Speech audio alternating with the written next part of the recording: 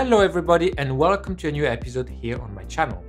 There are some pretty clear differences between the R6 and the R7, like for example the sensor size and the price, but I was interested in making this comparison because the R6 is a camera I know very well. I've tested it extensively in the past few years and it's kind of my reference vis-a-vis what a Canon mirrorless cameras can do today, excluding the most expensive models of course. The R7 piqued my interest right away because of the APS-C sensor and its crop factor, and what looks like a nice blend of high-level specification with a competitive price. So let's begin and let's see how these two cameras compare. Here we have our two cameras, the R6 and the R7. The R6 is larger and heavier, but after using both side by side for over a month, I can say the difference is not very significant, both cameras are well built and they are weather sealed. The grip is slightly taller and larger on the R6, which allows my fingers to rest with more comfort. On the R7 I need to squeeze them a little more, but it's a small thing really, I wouldn't worry too much about it. Concerning the button layout, the R6 features three dials, two on top and one on the rear to control the exposure settings. The R7 has only two dials, one on top near the front grip and one on the rear next to the viewfinder.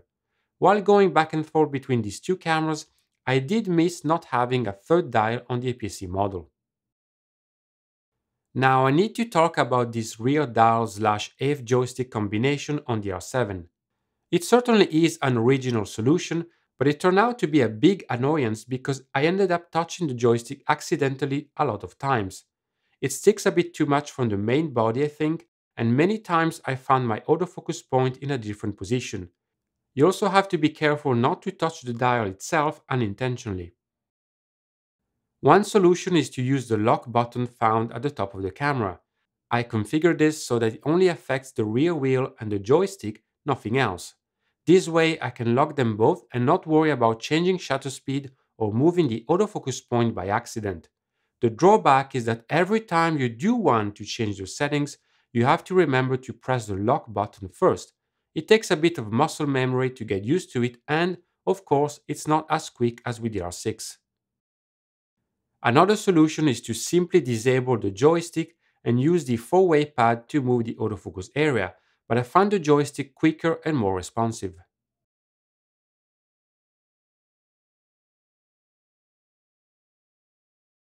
On the top plate, the on-off switch is found on the left for the R6 and on the right for the R7. I like the solution on the APS-C camera better because you can switch to movie mode more quickly, rather than rotating the main dial on the R6. At the front, near the bottom, the R7 has a handy autofocus manual focus switch that includes a center button and that can be customized. The R6 has a few extra buttons on the rear but the R7 offers more customization. 12 buttons can be configured, including the four-way pad at the rear, versus only 7 on the R6. Furthermore, the Q menu can be edited on the APS-C camera, unlike with the full-frame model. The menu system is the same and can be controlled entirely via the touchscreen. Both cameras include a My Menu section to shortcut your favorite settings. The R6 has a larger viewfinder with more resolution and magnification. The eye point is slightly longer and overall, the experience is more pleasant, especially for someone like me who wears glasses all the time. The R7 has a decent viewfinder, but it certainly feels outdated by today's standards. At least the frame rate is fast, which is good when panning quickly to follow fast subjects. Concerning the LCD monitor on the rear, they are both touch sensitive, have a multi-angle mechanism and share the same resolution. They're responsive, bright and sharp, so I have nothing to complain here. The two cameras use the same battery and they do well when it comes to battery life, but the R7 has the upper hand. For example, I capture more than 1700 RAW images of birds in flight at 20 frames per second with the R6 and there was 79% of battery power left. The R7, with more photos in the SD card in the same conditions, only consumed one extra percentage of battery life. Really good performance. The two cameras share the same connections, microphone input, remote input, headphone output, a micro HDMI input, and a 10 gigabit per second USB-C port. Finally, they both have two SD card slots that are UHS-2 compatible.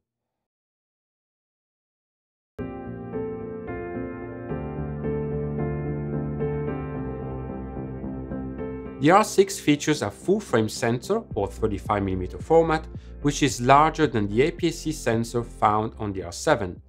The crop factor in this case is 1.6 times. The resolution is also different. The R6 comes with 20.1 megapixel, whereas the R7 has 32.5 megapixel.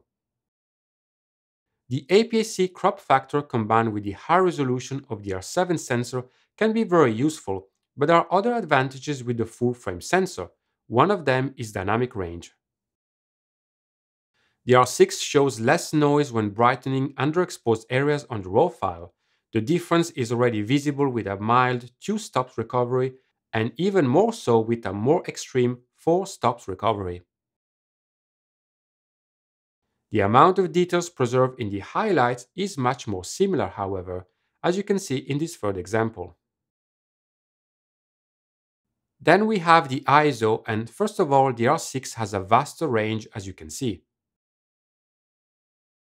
The larger sensor and the lower megapixel count help the R6 to deliver images with less noise as you increase the ISO level.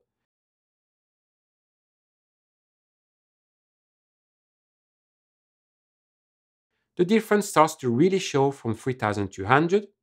I have to say the R7 performs well up to 6400 all things considered, but it is obvious you can push the R6 to higher extremes.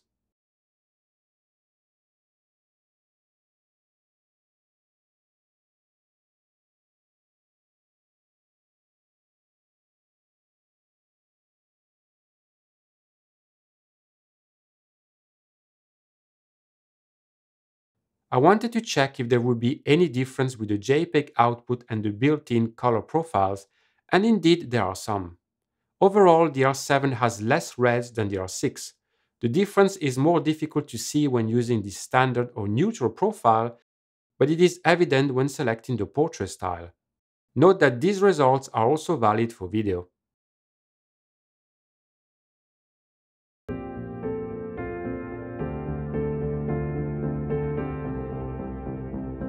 Both cameras features an advanced autofocus system, the Canon Dual Pixel CMOS AF2, and include subject recognition such as humans, animals, and vehicles. They can focus on their body, head, or eyes, or the helmet in the case of motorcycles and open cockpit racing cars. What's interesting about Canon cameras is that the animals or vehicle setting doesn't exclude humans. For example, if a person and a dog are in the same frame, the dog will get priority when choosing animal detection. However, if the dog goes away and only the human is left, you can still focus on the face and eyes of that person automatically, even with the animal setting enabled. If we dig a bit more, we can find some differences. For example, we have the AF zone setting, which is called AF method on the R6. The R7 has three custom modes that allow you to create an area of any size you want, Furthermore, subject detection can be enabled from any AF zone. On the R6, your only option to work with subject detection is to select the tracking setting, which operates on the entire sensor. This may seem like a small improvement, but the extra flexibility of the R7 can be useful. For example, during my IAF test, the R6 struggled to recognize the subject at the beginning when she was far from the camera meaning small in the frame. The R6 started to switch various autofocus points in different parts of the frame, liking the kitchen bar in particular. I had to touch the subject on the LCD screen for the R6 to give her priority and forget about the rest. On the R7, you can simply select a small autofocus area and keep it on the person at the center. If the subject is detected, the camera will still track him or her on the entire frame, but if it doesn't detect the subject for whatever reason or just momentarily, it will focus where your autofocus point is. And all this really means you have more control with the R7 depending on your needs. My face and eye detection test showed a very similar performance between these two products. The R6 gave me the same keeper rate of previous tests I made. It only struggled when the subject moved away from the camera, delivering 4 autofocus shots in a row. The R7 gave me a slightly higher keeper rate. It had less problems when the subject walked away from the camera, but there were more images that lacked pin-sharp focus. For video, the performance is very similar, although the R7 showed a bit more hesitation when the subject was turning on herself, taking more time to refocus on the eyes when they became visible again.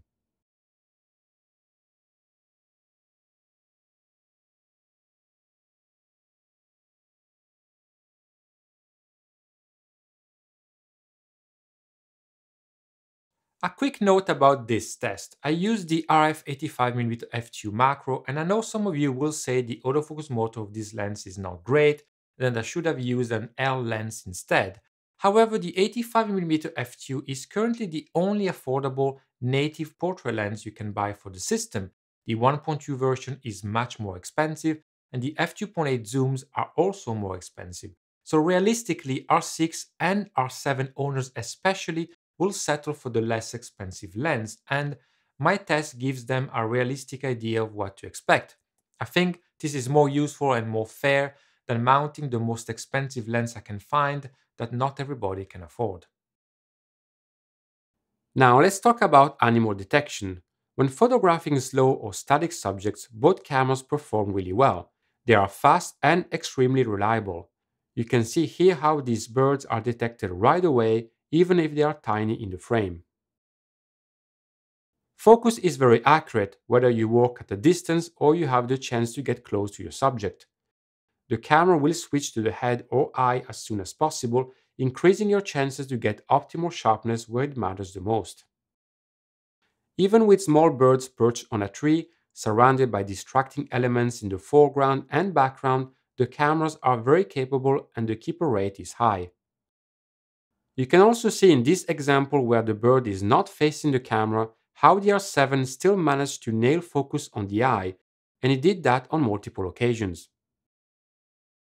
One thing that can lower the performance is the lens used. With the 100 to 500 mm, speed and accuracy is flawless, but with the less expensive 100 to 400 mm, I found both cameras to hunt a bit more than I would like. Now let's move on to my birds in flight test that many of you like, and this is where I found an important difference between these two cameras. The R6 is on another level, and actually it has very little to envy from the flagship R3 as far as autofocus performance goes. The camera received various firmware updates that improve the AF stability, it is a camera you can trust and the moments where it struggles are rare. The R7 had a more difficult time, not only because of the lower hit rate, but also because its performance lacked consistency. The R7 can lock on the target really fast, but can also lose it as fast when there is a busy background, focusing on the trees or field behind. Other times, it could not correct focus when the first images of the burst were out of focus, so much that I had to abort the sequence and start again on many occasions. As always, I tried different setting combinations to see if I could improve the results, but to no avail. Here we have the autofocus score. I've also included other Canon cameras for comparison. As always, the green percentage includes 100% sharp images only, the blue percentage also includes slightly soft results. As I said earlier, the performance on the R7 is not consistent. 80% is the best score I got, but the following days I had a lower hit rate averaging between 72% and 75%, even when using the same lens and the same exact settings. The score with the R6 has been consistent since the first time I tried the camera two years ago, so that is something important to highlight. If I compare the two cameras with other brands, this is where they stand. Of course, some of these cameras have a slower drive speed, others are faster. You can find out more about my birds in flight test on my website, the link is in the description. For those of you that are interested, these are the settings for birds in flight that gave me the best results on both cameras.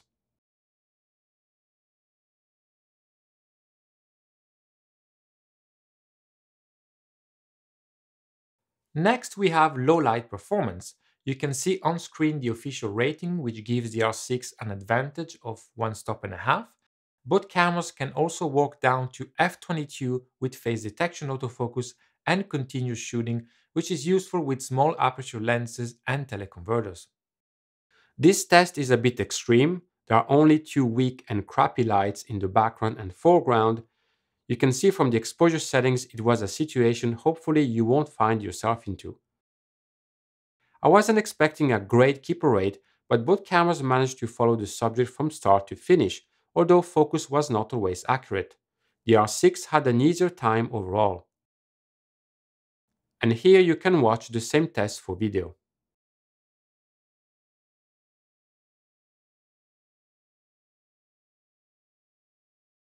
One more thing, both cameras have focus bracketing, but only the R7 can do focus stacking in camera. With the R6, you'll have to stack the images in post. Focus stacking on the R7 works well if you select the right settings, most importantly, the focus increments. You can see in this first example, the increments were too wide and the final result showed this weird glow around the edge of the shell. With smaller increments, this is less likely to happen and the second photo is perfect.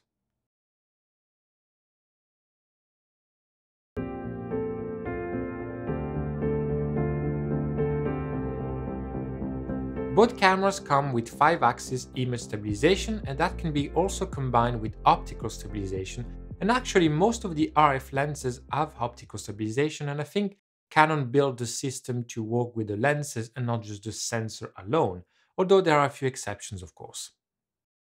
I did my usual handheld test and only the R6 managed to give me a sharp shot with a shutter speed of 2 seconds.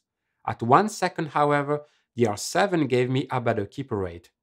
With faster exposures, the results are very similar. Overall, this is a very good performance from both cameras.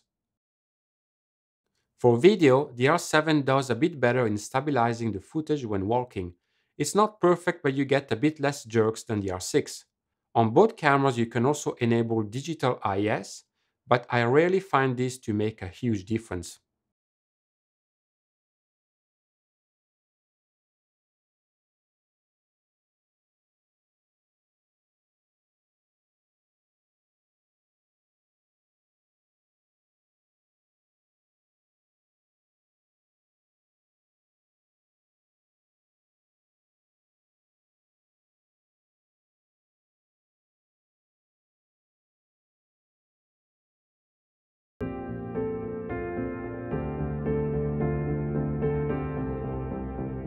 Both cameras have a mechanical shutter, an electronic first curtain shutter, and of course a full electronic shutter mode. Speaking of the mechanical shutter, the R7 is louder than the R6 as you're about to hear.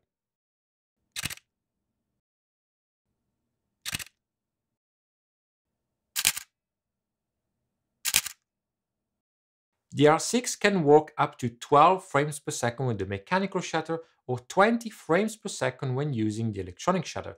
The R7 is superior with both shutter modes. Now, the extra speed offered by the electronic shutter is great, but one thing to keep in mind is distortion when moving quickly with the camera or when your subject moves very fast. You can see right now how this affects your image. The distortion is more contained on the R6, especially when panning quickly. A street lamp is an easy target to highlight this problem because it has a basic vertical shape. But what about more complex bodies such as animals, birds, and so on? This time I'm going a bit more in depth than usual on this topic and you'll see why in a minute.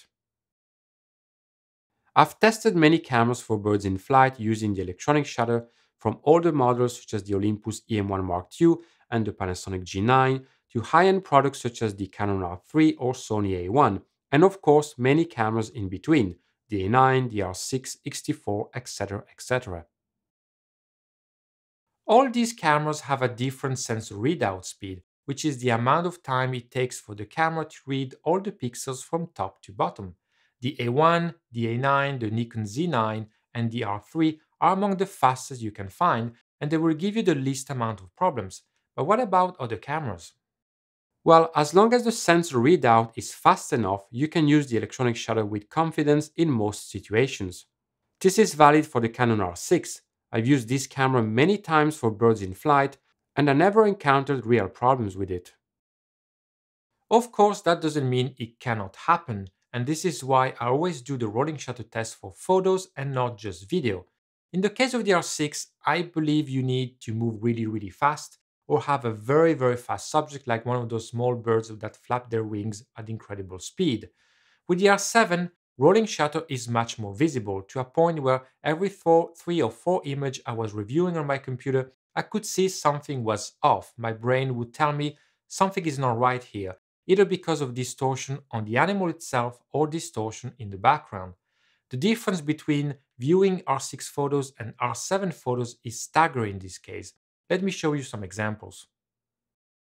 In this first image, concentrate your attention on the hide and the tree trunk in the background. They are visibly distorted. Second image, and here you can notice the odd vertical lines of the tractor. Next, I'm showing you two images and I'm going back and forth between them. Can you see how the background wobbles?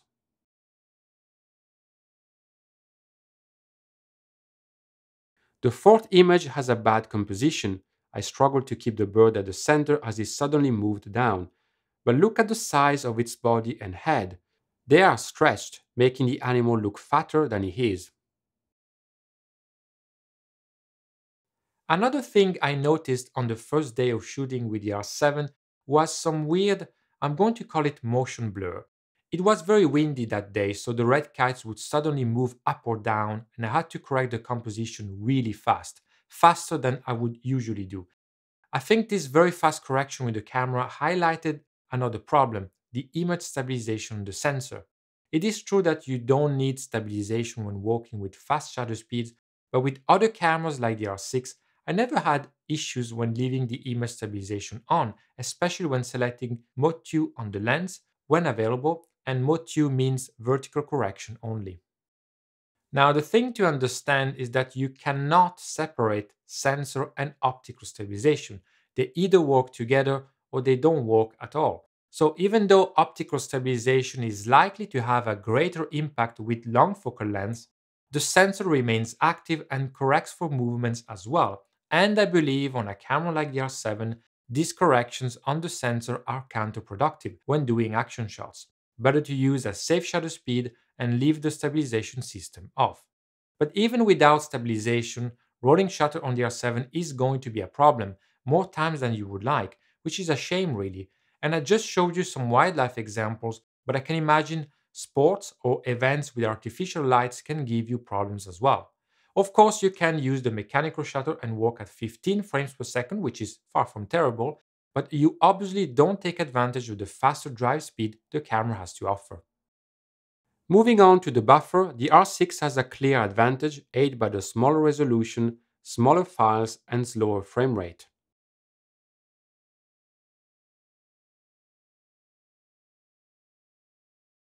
You can double the buffer on the R7 by choosing Compress RAW, which is smaller in size than the normal RAW file.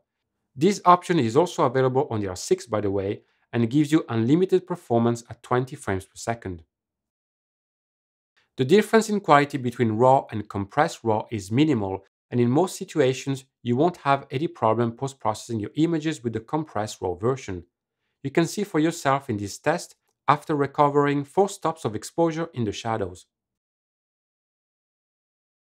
Next, we can talk about the RAW burst mode, which is only available on the R7.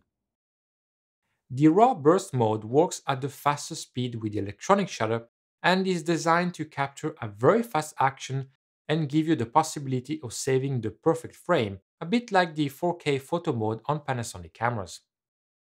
You also have the option to enable pre-shooting, which allows you to capture images 0.5 seconds before the shutter button is fully pressed, so roughly 15 images with a drive speed of 30 frames per second.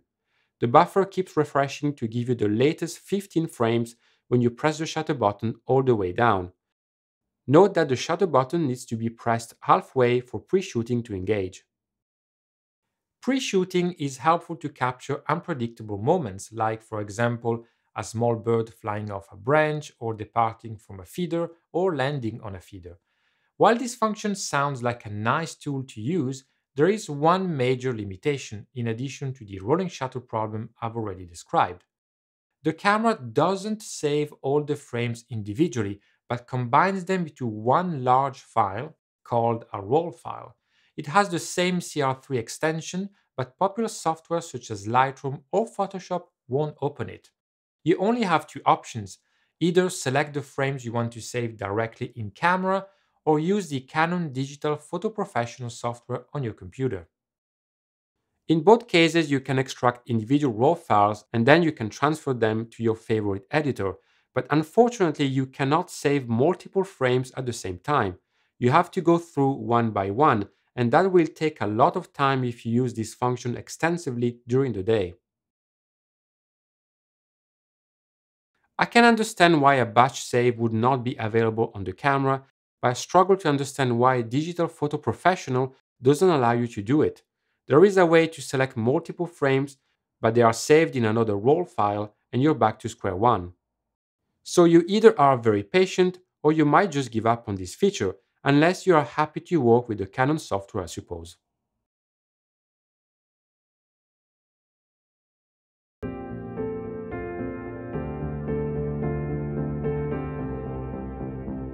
The R6 and R7 are capable of recording 4K up to 60 frames per second. In Full HD, they can go up to 120 frames per second with the high frame rate function. The bit rate is also the same.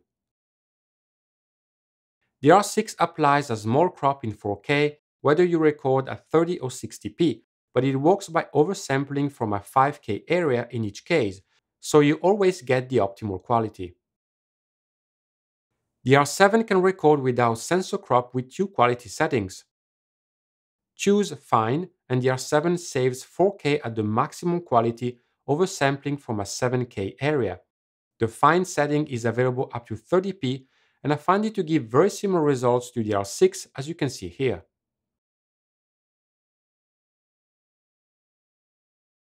If you want 4K 50 or 60p on the R7, you have two options. You can record without sensor crop, but the quality decreases because instead of oversampling, the camera does line skipping, which means it doesn't use all the pixels on the sensor. Details are less crisp, and you can notice some aliasing. The second option is to record on a 1 to 1 pixel area, which translates into a severe 1.8 times crop. The latter means a small portion of the sensor is used to record the video. Remember that you also have to take into account the equivalence due to the different sensor size, full frame, APS-C, and related crop factor. If we take a 35mm prime lens as an example, here is the equivalent focal length in terms of field of view you would get depending on the camera used, as well as the specific 4K settings you select. You can see how narrow the angle of view becomes on the R7 with the 1 to 1 pixel mode. The two cameras can record 10-bit 422 internally, but only when selecting the Canon log or HDR PQ profiles. With other picture styles, they record 8-bit 420. The R7 surprised me concerning dynamic range. With the Canon Log 3 profile, it holds up really well against the full-frame camera and actually I found a bit more noise in the shadows of the R6 footage. The full-frame model offers an additional profile, the Canon Log, that works with a native ISO of 400 rather than ISO 800 with C-Log 3. At high ISO, the range is a bit more limited than for still photos as you can see. As expected, the R7 displays more noise, while the R6 can be pushed further. These were recorded with noise reduction set to standard on both cameras.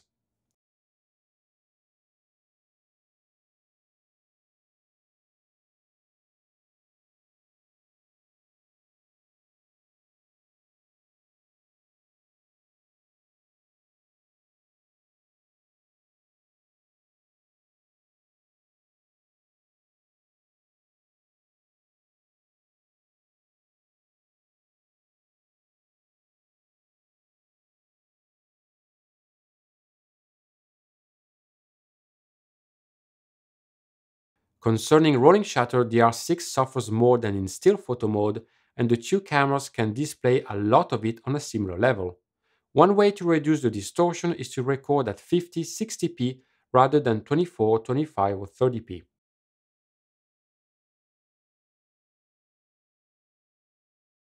Finally, let's talk about overheating. The R6 has a bad reputation with this and unfortunately my own experience kind of confirms it. Despite firmware updates, my tests consistently showed the same result. The R6 can record the first 30 minutes without any problems, but once the second clip is rolling, it can shut down after 15 or 20 minutes. From there, how much you can record depends on how long you let the camera cool. For example, a 5 minute break allowed me to record another 20 minutes. Obviously, if you plan to do some shooting in the summer or in warm locations, the R6 will give you problems. Fortunately, the R7 is doing much better. I managed to record 2 hours and 20 minutes in 4K 25p at the maximum quality.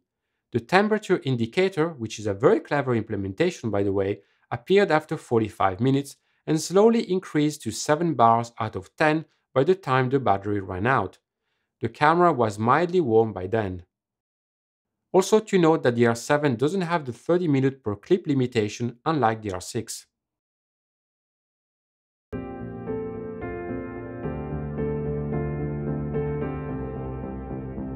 The R6 is more expensive as you can see with the graphics, and this is no doubt the biggest decision making factor if you're hesitating between these two cameras. Another topic to mention are the lenses. The two cameras use the RF mount, but so far there are only two native lenses designed for APS-C, one kit lens and one do-it-all kind of lens. Naturally, we can expect more to come in the future, but for now, you'll have to look at the full frame catalog if you want anything beyond these two lenses. As I said earlier, there is an advantage in using full frame lenses on the R7 because of the APS-C crop factor. For example, the 100 to 400 mm gives you an equivalent field of view of 160 to 640 mm, whereas the RF 800 mm f11 extends, so to speak, to 1280 mm. And if we consider the higher pixel count on the APS-C camera, you have more leeway for cropping in post and get even more magnification. The disadvantages are A, it can be more difficult to find extreme wide angle lenses unless you look at third party manual focus lenses, and B, there aren't a lot of affordable yet fast lenses from Canon at the moment. There are some interesting primes like the RF16 f2.8, the 35 1.8, the 50mm 1.8, and a few others, which is not bad of course, but most of the f2.8 or f4 constant aperture zooms will cost you much more. Even the 100 to 500mm that I've used many times is almost 3 grand. I also think the system could do with support from third-party manufacturers such as Sigma and Tamron. Of course, we have to give Canon a bit of time to grow the APS-C segment, so this chapter is not meant to be a criticism necessarily, but rather to give you extra information. Hopefully, if you're watching this video a few years from now, there will be more choice for APS-C.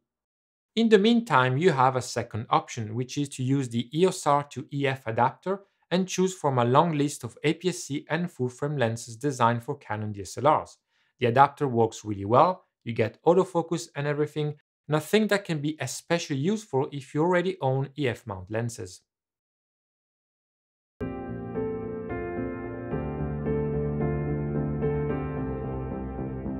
When the R7 was announced, I was pleased to see the RF mount expanding in the APS-C territory.